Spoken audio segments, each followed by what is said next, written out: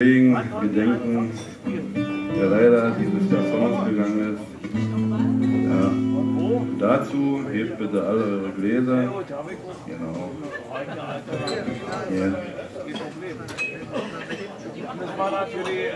Was sein muss, muss sein.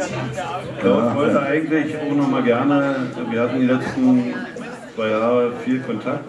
Der wollte eigentlich gerne auch noch mal hier mit dabei sein und hätte ein bisschen mitgeschickt oder so, also alles das, was hier noch zu machen ist. Er hat geschafft, er, er hat gedacht, er schafft es, aber leider hat er es nicht geschafft. Und, aber wir grüßen. Wir grüßen Klaus und auch meinen Sohn noch, Friedhof noch mit dabei. Prost. Also, und alle, die uns verlassen haben. Prost. So,